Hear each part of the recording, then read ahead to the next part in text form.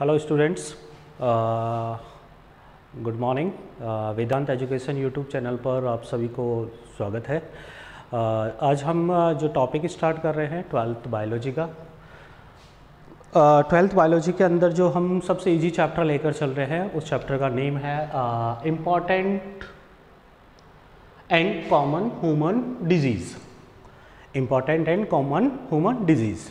अभी कोरोना भी चल रहा है डिजीज़ के बारे में आप लोग चाइल्डहुड से स्टडी भी करते आ रहे हैं कि कौन कौन सी डिजीज़ होती है जो जनरली ह्यूमन बींग्स के अंदर प्रेजेंट होती हैं कौन कौन से उनके पैथोजेंस होते हैं उनके बारे में भी आप लोगों ने थोड़ा थोड़ा स्टडी ज़रूर किया होगा अगर हम बात करें सबसे पहले अबाउट बॉडी और हेल्थ के बारे में तो डेफिनेशन की अगर हम बात करें हेल्थ की डेफिनेशन की health health means proficiency in physical and physiological capacity proficiency in physical and physiological capacity ability to fight against infection mental maturity and execution of healthy social activities by organism according to their age heredity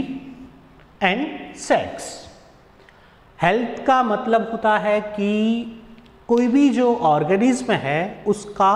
उसकी age के according heredity के according and sex के according age means कि childhood अगर कोई child है तो उसके लिए ये कंडीशन अलग तरीके से लगेंगी अगर हेरिडिटी मतलब आ, उनकी जो जेनेटिक स्ट्रक्चर uh, है पेरेंट्स की जो हिस्ट्री है उसके अकॉर्डिंग सेक्स मेल और फीमेल इनमें भी ये uh, जो कंडीशन है वो डिफरेंट डिफरेंट आती है हेल्थ के केस में so according age heredity and sex health means proficiency in physical and physiological capacity means एक uh, जो ऑर्गेनिज्म है वो फिजिकली और फिजियोलॉजिकली उसकी जो कैपेसिटी है वो क्या होनी चाहिए एकदम अच्छी होनी चाहिए ability to fight against infection उसमें क्या होना चाहिए इन्फेक्शन के अगेंस्ट फाइट करने की क्या होनी चाहिए एबिलिटी मीन्स की इम्यूनिटी स्ट्रांग होनी चाहिए इम्यूनिटी यहाँ पर अगर इस पॉइंट के बारे में हम बात करें कि ability to fight against infection ये किसको रिप्रेजेंट करता है इम्यूनिटी स्ट्रांग इम्यूनिटी को मेंटल मैच्योरिटी मेंटली भी वो क्या होना चाहिए मैच्योर होना चाहिए and execution of healthy social activities by organism according execution of healthy social activity socially भी वो क्या होना चाहिए एकदम स्ट्रांग होना चाहिए वेलबिंग होना चाहिए तो यहां पर फिजिकली फिजियोलॉजिकली एंड सोशली ये तीनों पॉइंट्स आते हैं कि उस तरीके से वो क्या होना चाहिए फिट होना चाहिए तब उसको क्या बोलते हैं ए गुड हेल्थ बोलते हैं clear according W H O W H O World Health Organization W H O के अकॉर्डिंग अगर हम इसकी डेफिनेशन uh, की बात करें तो बहुत सिंपल सी है a state of complete physical and and wellbeing and not merely the absent of disease W H O क्या कहता है कि एक कोई भी ऑर्गेनिज्म जो है एक कंप्लीटली क्या होना चाहिए physical physically mentally and socially wellbeing होना चाहिए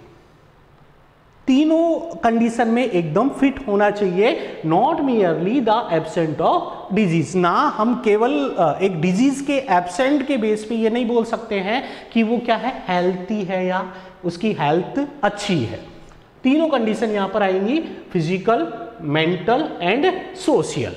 तब जाके हम उसको क्या बोलेंगे एक हेल्थी पर्सन बोलेंगे या हेल्थी ऑर्गेनिज्म बोलेंगे या गुड हेल्थ के बारे में बोलेंगे तो ये किसकी डेफिनेशन हो गई अबाउट हेल्थ नेक्स्ट हम बात करें डिजीज मिली जो है हमारा टॉपिक क्या है डिजीज ही है important and common human disease disease के अगर हम डेफिनेशन की बात करें disease is the disorganised activity disorganised activity और disorder of the body simple एक लाइन के अंदर अगर हम डेफिनेशन की बात करें तो डिजीज क्या होती है डिसऑर्गेनाइज एक्टिविटी और disorder of the body which is caused due to causes क्या है उसके इन्फेक्शन हो सकता है contaminated nutrition infection different type के जो है माइक्रोब्स या पैथोजेंस जो हैं उनकी उनका इन्फेक्शन हो सकता है कंटेमिनेटेड न्यूट्रिशन न्यूट्रिशन की वजह से भी डिजीज कॉजेज हो सकती है जेनेटिक्स अगर हमारी जो जेनेटिक स्ट्रक्चर है डीएनए जो है उसमें किसी भी टाइप का अगर चेंजेस आता है तो वो भी किसका रीजन हो सकता है डिजीज का रीजन हो सकता है एनवायरमेंटल और मेंटल इम्बैलेंस ये सारे इम्बैलेंस की वजह से क्या हो सकती है डिजीज हो सकती है हम अगर इतना बोले कि किसी पैथोजन या कोई माइक्रोब्स के इन्फेक्शन की ही वजह से जो एक डिसऑर्गेनाइज्ड कंडीशन जनरेट होती है बॉडी के अंदर डिसऑर्गेनाइज से मतलब होता है यहाँ पर कि हमारी जो बॉडी है प्रॉपरली एक ऑर्गेनाइज्ड मैनर में क्या करती है फंक्शन करती है लेकिन अगर कोई भी प्रॉपर्टी में उसके में like like that uh, uh, उसके uh, किसी टाइप का इन्फेक्शन हो जाता है अगर uh, हम कंटामिनेटेड न्यूट्रिशन ले रहे हैं जेनेटिक वेरिएशन हो जाता है एनवायरमेंटल या मेंटल इम्बेलेंस हो जाता है तो वो क्या कॉज करता है डिजीज कॉज करता है तो ये डेफिनेशन किसकी हो गई डिजीज की डेफिनेशन हो गई disease is the disorganise activity और disorder of the body which is cause due to infection contaminated nutrition genetics environmental और मेंटल इम्बेलेंस क्लियर तो ये दोनों पॉइंट हेल्थ और डिजीज के बारे में जो है ये दोनों पॉइंट हमको क्लियर हो हमने डिजीज की डेफिनेशन के बारे में बात की अब हम बात करेंगे क्लासिफिकेशन ऑफ डिजीज़ कि डिजीज़ को कौन कौन सी कैटेगरी के अंदर क्लासिफाई किया जा सकता है क्लासिफिकेशन में जो डिजीज़ की मेन जो ब्रॉड कैटेगरीज आती है these are two types of disease congenital congenital and acquire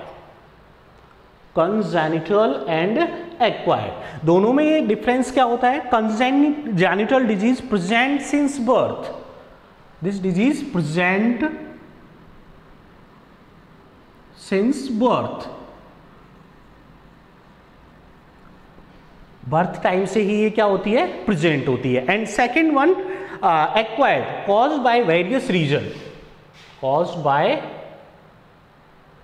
various reason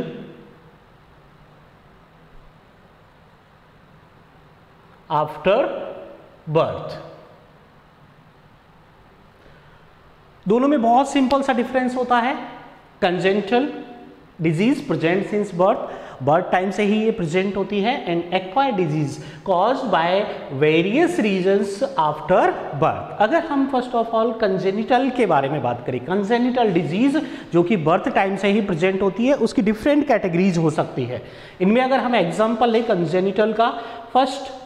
ये अब बर्थ टाइम से प्रेजेंट है तो उसका कोई ना कोई रीजन हो सकता है वो रीजंस क्या क्या हो सकते हैं जैसे अगर हम फर्स्ट ऑफ ऑल इसमें बात करें genetics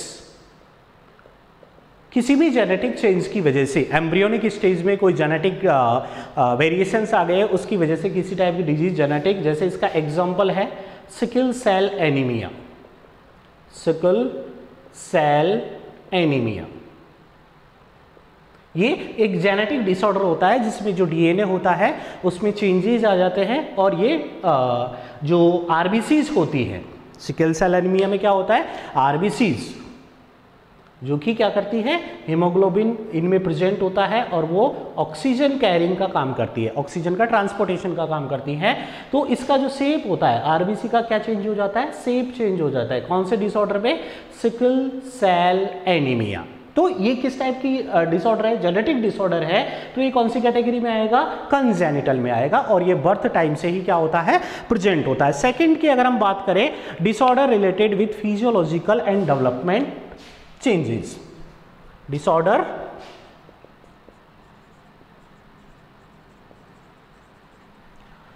related to physiological physiology or development कोई भी ऑर्गेनिज्म है उसका जो फिजियोलॉजी है पर्टिकुलर फिजियोलॉजी है या फिर उसका डेवलपमेंट हो रहा है तो उस डेवलपमेंट के टाइम पे आ, कुछ स्पेसिफिक टाइप के डिसऑर्डर क्या हो जाते हैं जनरेट हो जाते हैं जैसे इसका जो एग्जाम्पल है वो है hare lips hare lips hare lips नाम से पता चल रहा है कि लिप्स पे है लेकिन ऐसा कुछ नहीं है आ, जो लिप्स होते हैं अपर लिप्स कौन सा लिप्स अपर लिप्स जो होता है वहाँ पर एक आपने देखा होगा कि इस तरीके से जनरली ये शेप होती है लेकिन बीच में एक cleft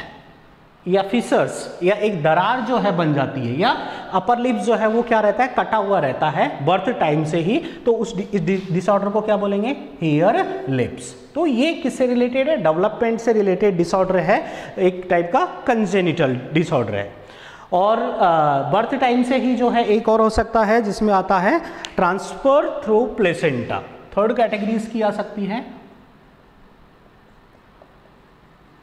transfer through placenta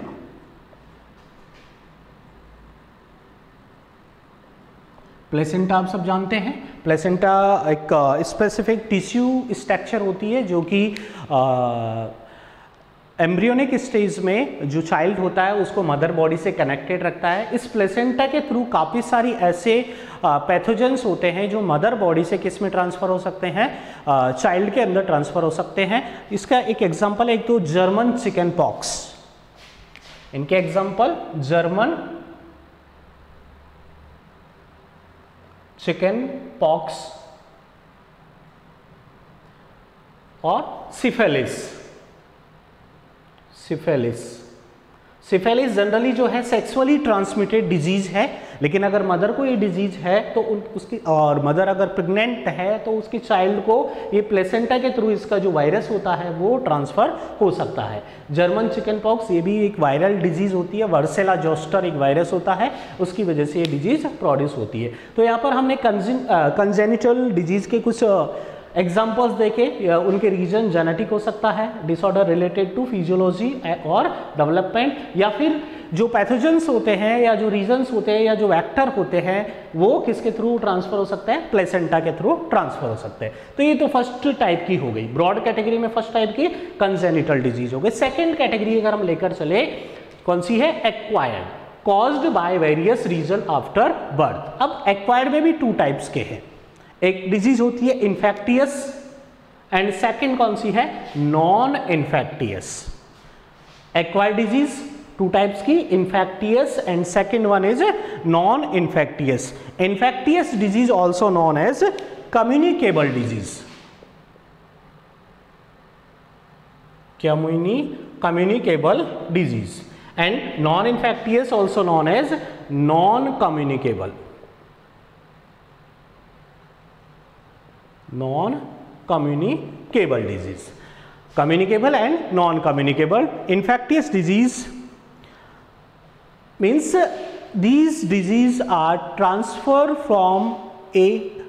uh, infectious person to a healthy person. Transferred from an infected person to healthy person. Infectious disease may transfer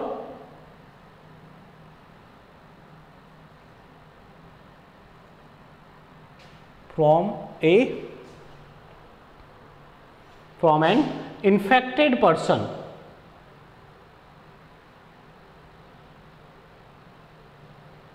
to healthy person easily क्या हो सकती है ट्रांसफ़र हो सकती है एक जो इन्फेक्टेड या जिसको डिजीज़ है उस पर्सन से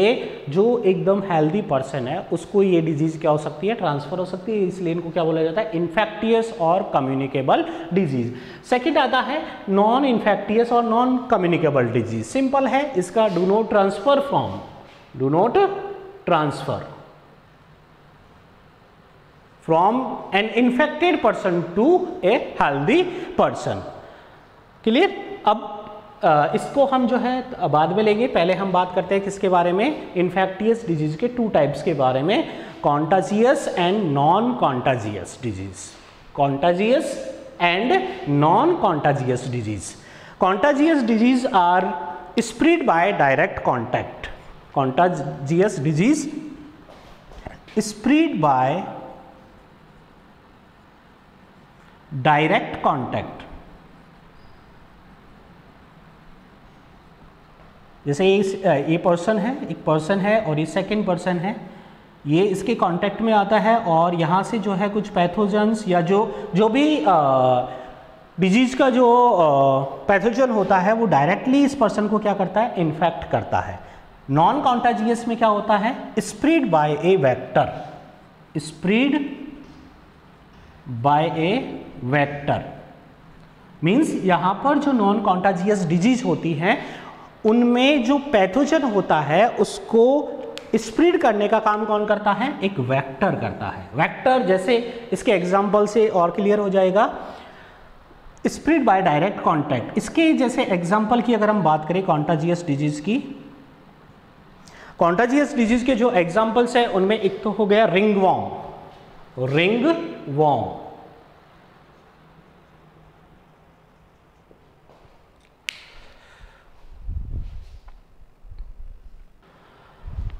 इन्फेक्टिस और कम्युनिकेबल डिजीज़ के टू टाइप्स के बारे में हम बात कर रहे थे एक contagious and second one non contagious contagious spread by direct contact इसके एग्जाम्पल के बारे में हमने बात की फर्स्ट uh, एग्जाम्पल इसका आता है रिंग वॉम फर्स्ट एग्जाम्पल कौन सा है रिंग वॉम है एंड सेकेंड एग्जाम्पल एक तो कौन सा होगा रिंग वॉम जिसको जनरली हम क्या बोलते हैं दाद सेकेंड है कंजक्टवाइटिस कंजक्टिवाइटिस कंजक्टिवाइटिस या जनरली जो है कंजक्टिवाइटिस uh, uh, या जनरली इसको हम आई फ्लू भी बोल सकते हैं आई फ्लू तो ये दोनों जो डिजीज है वो किस में आती हैं कॉन्टाजियस uh, के अंदर आती हैं जो कि डायरेक्ट कांटेक्ट uh, से क्या होती है स्प्रिड होती है डायरेक्ट कांटेक्ट में जो स्प्रिड में होता है हो सकता है कि ड्रॉपलेट uh, ट्रांसमिशन हो सकता है पैथोजेंस का जो इन्फेक्टेड पर्सन है उसने स्नीजिंग की छींका तो उससे जो ड्रॉपलेट्स निकलते हैं वो सामने वाले पर्सनस की बॉडी में एंटर कर जाते हैं उनके साथ में क्या होते हैं पैथोजेंस होते हैं जो कि हेल्दी पर्सन को भी क्या कर देते हैं इन्फेक्टेड कर देते हैं तो इसके जनरल टू एग्जांपल्स हैं ऐसे बहुत सारे एग्जांपल्स इसके मिलेंगे सेकंड आता है non contagious disease non contagious disease non contagious जो डिजीज़ होती है उसमें मेनली किसके हेल्प से स्प्रेड होती है वैक्टर के हेल्प से स्प्रेड होती है इसके हेल्प से वेक्टर के हेल्प से इसके एग्जाम्पल अगर हम बात करें by infected factor carrier non contagious में एग्जाम्पल की अगर हम बात करें बाय इन्फेक्टेड वेक्टर वेक्टर यहाँ पर जो वेक्टर है जैसे एग्जाम्पल ये इस वाले मेथड से uh, जो स्प्रेड होती है उसमें एक हो गया मलेरिया मलेरिया फीवर डेंगू ये दोनों डिजीज जो होती है उनमें वेक्टर एज ए वेक्टर का काम कौन करता है मॉस्किटो मॉस्किटो जो होता है वो किसका काम करता है वेक्टर का काम करता है किस तरीके से एक पर्सन है जो कि ऑलरेडी मलेरिया इसको है इसको जो है मॉस्किटो ने बाइट किया और वो मॉस्किटो एक हेल्दी पर्सन के पास में क्या हो गया ट्रांसफ़र हो गया और उसको भी जाके वो क्या कर रहा है बाइट कर रहा है तो यहाँ पे हम देख रहे हैं कि एक जो इन्फेक्टेड पर्सन है उसको किसने बाइट किया मॉस्किटो मॉस्किटो खुद जो है जैसे मलेरिया का एग्जाम्पल हमने आ, मलेरिया स्प्रिड होता है आ, फीमेल एनाफ्लीज जो मॉस्किटो होता है फीमेल एनाफ्लीज मॉस्किटो की हेल्प थ्रू जो है इसको क्या किया जाता है स्प्रिड किया जाता है अब खुद फीमेल एनाफिलीज पैथोजन की तरह काम नहीं कर रहा है मीन्स कि उसके बाइट करने से मलेरिया होता है ऐसा कंपलसरी नहीं है कब होता है जब उसकी बॉडी में क्या प्रेजेंट होता है मलेरियल पैरासाइट प्रेजेंट होते हैं प्लाज्मोडियम मेनली जो है मलेरिया किससे एक प्रोटोजोआ होता है क्या होता है कौन जिसको बोला जाता है प्लाज्मोडियम प्लाज्मोडियम का जो ट्रांसमिशन होता है वो कौन करता है मॉस्किटो करता है फीमेल एनाफ्लिस वो एक इन्फेक्टेड पर्सन से एक हेल्दी पर्सन तक उस प्लाज्मोडियम का क्या करता है ट्रांसमिशन करता है तो यहाँ पर डायरेक्ट स्नीजिंग से या डायरेक्ट कॉन्टैक्ट से जो है प्लाज्मोडियम का ट्रांसमिशन नहीं होता है उसको किसकी रिक्वायरमेंट होती है एक वैक्टर की रिक्वायरमेंट होती है और उस वैक्टर का काम कौन करता है मॉस्किटो काम करता है इसी तरीके से डेंगू जो फीवर होता है इसके लिए जो मॉस्किटो होता है वो होता है एडिज अजिप्टाई तो वो भी इसी तरीके से जो मलेरियल डेंगू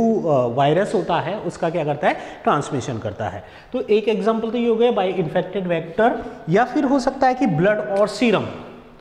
यही जो नॉन कॉन्टाजियस जो डिजीज़ होती है वो किसकी हेल्प से ब्लड और सीरम के हेल्प से भी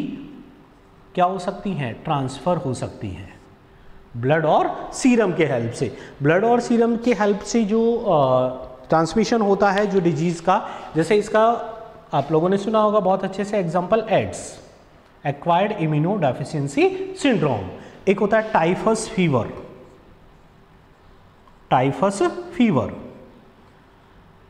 ये यहाँ पर हम टू एग्जाम्पल्स ले रहे हैं ऐसे बहुत सारे एग्जाम्पल्स हैं जो कि ब्लड और सीरम के हेल्प से क्या होते हैं ट्रांसफ़र होते हैं अगर किसी पर्सन का जो है ब्लड क्या है एच वायरस से इन्फेक्टेड है या उसमें क्या प्रजेंट है एच वायरस उस ब्लड को अगर हम किसी हेल्दी पर्सन में क्या करते हैं ट्रांसफ़र करते हैं तो नाइन्टी परसेंट ये चांस रहता है कि उसको क्या होगा हेड्स होगा या एच पॉजिटिव होगा इसी तरीके से जो टाइफस फीवर होता है उसका जो पैथोजेंस होता है वो भी ब्लड के हेल्प से अदर uh, पर्सन की जो बॉडी है उसके अंदर क्या हो सकता है ट्रांसफ़र हो सकता है तो यहाँ पर ये कौन सा हो गया नॉन कॉन्टाजियस डिजीज़ जो कि किसकी हेल्प से ट्रांसफ़र होती है वेक्टर के हेल्प से और ये कैसे होता है डायरेक्ट कॉन्टाजियस किस तरीके से ट्रांसफ़र होगी डायरेक्ट ट्रांसफ़र होगी डायरेक्ट में मैंने बताया कि ड्रॉपलेट इन्फेक्शन हो सकता है या फिर एक दूसरे को टच करने की वजह से भी ये जो है इन्फेक्शन क्या हो सकता है ट्रांसफ़र हो सकता है तो यहाँ पर हमने इनका जनरल इंट्रोडक्शन जो है इसके बारे में बात की नेक्स्ट हम देखते हैं कुछ एग्जाम्पल्स नॉन इन्फेक्टियस और नॉन कम्युनिकेबल डिजीज़ के ये हमने छोड़ दिया था बाकी इनके बारे में हमने बात की वहाँ पर जो है फर्स्ट जो डिजीज़ थी वो उसके बाद में एक्वायर्ड एक्वायर्ड के एग्जाम्पल्स या इनको टू कैटेगरीज में क्लासिफाई किया हुआ है एक तो इन्फैक्टियस और दूसरा कौन सा हो गया नॉन इन्फैक्टियस इन्फेक्टियस के अंदर हमने टू कैटेगरीज देखी कॉन्टाजियस एंड नॉन कॉन्टाजियस जिसके कुछ एग्जाम्पल्स हमने देखे नॉन कॉन्टाजियस के कुछ एग्जाम्पल्स देखे ये जितने भी हम डिजीज देख रहे हैं कहीं ना कहीं बायोलॉजी के जो अदर चैप्टर्स हैं उनमें डिटेल्स के अंदर आएंगी अब हम लेते हैं किसको नॉन इन्फेक्टियस और नॉन कम्युनिकेबल डिजीज जो कि इन, एक इन्फेक्टेड पर्सन से हेल्दी पर्सन में क्या नहीं होती है ट्रांसफ़र नहीं होती है इसके कुछ एग्जाम्पल्स की अगर हम बात करें तो इसमें सबसे फर्स्ट आता है कुछ डेफिशिएंसी डिजीज़ नॉन कम्युनिकेबल और नॉन इन्फेक्टियस डिजीज़ के अगर हम एग्जाम्पल के बारे में बात करें तो फर्स्ट ऑफ ऑल आता है इसमें डेफिशिएंसी डिजीज़ फर्स्ट कैटेगरी है इसकी deficiency disease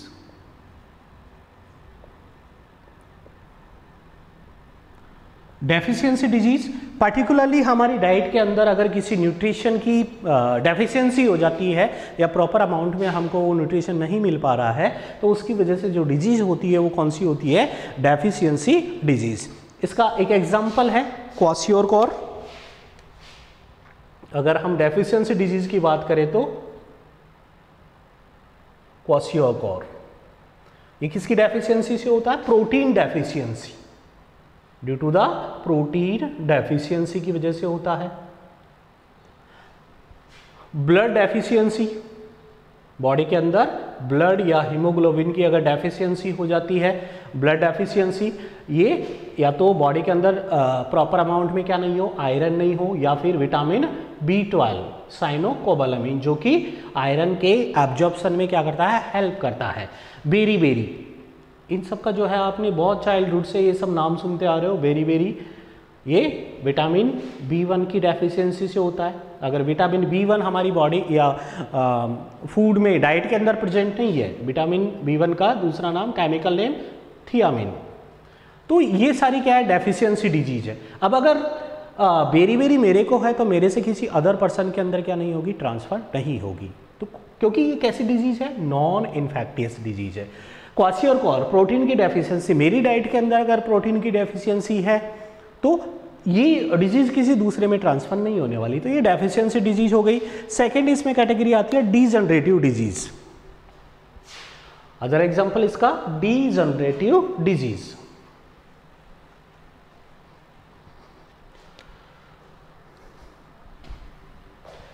नॉन इन्फेक्टिस का second degenerative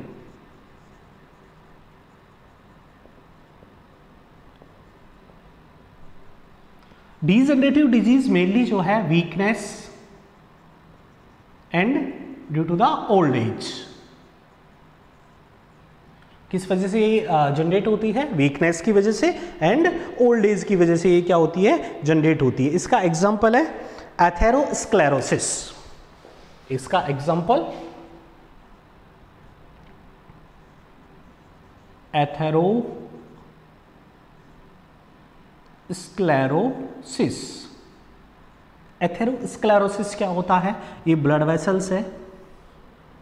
ओल्ड एज के टाइम पे क्या होता है या एज uh, बढ़ जाने या वीकनेस होने की वजह से जो ब्लड वेसल्स होती है उनकी जो वॉल्स होती है वहाँ पर क्या डिपॉजिट हो जाता है कोलेस्ट्रॉल डिपॉजिट हो जाता है यहाँ पर क्या डिपॉजिट हो जाएगा कोलेस्ट्रॉल डिपॉजिट हो जाता है फैट डिपॉजिट हो जाता है जिसकी वजह से जो आर्टरीज होती हैं ब्लड वेसल्स होती है उनमें क्या हो जाता है ब्लॉकेज हो जाता है धीरे धीरे ये बढ़ जाएगा और ये आर्टरीज ये क्या हो जाएंगी ब्लॉकेज हो जाएगी तो ये इसको क्या बोलते हैं अथेरोस्क्लेरोसिस तो ये एक टाइप की क्या होती है डीजनरेटिव डिजीज होती है अगर एक और एग्जाम्पल अगर हम देखें इसी का नॉन इन्फेक्टियस डिजीज का तो एलर्जी एलर्जी जो है ये भी किस टाइप की होती है नॉन इन्फेक्टियस डिजीज होती है अडिक्शन फोर्थ कैटेगरी इसकी आती है एडिक्शन एडिक्शन ये जो है जनरली अल्कोहल कंजप्शन की वजह से टोबैको एंड सम ड्रग्स कुछ स्पेसिफिक uh, ड्रग्स होती हैं इनके जो है कंटिन्यूसली यूज़ करने से पर्सन क्या हो जाता है उनके लिए एडिक्ट हो जाता है फिर उनके बिना उनसे रहा नहीं जाता है तो अल्कोहल हो गया टोबैको हो गया ड्रग्स हो गया तो ये सब क्या प्रोड्यूस करती है एडिक्शन प्रोड्यूस करती है मेंटल डिसऑर्डर काफ़ी सारे मेंटल डिसऑर्डर इस टाइप के होते हैं जो कि क्या होते हैं नॉन इन्फेक्टियस होते हैं जैसे साइजोफ्रेनिया हो गया मेडनेस हो गया स्ट्रेस हो गया मेंटल डिसेबिलिटी हो गई ये सब जो है नॉन इन्फेक्टियस डिजीज़ के अंदर ही आते हैं और एक है जिसको हम डिटेल के अंदर बात करेंगे जिसकी कैंसर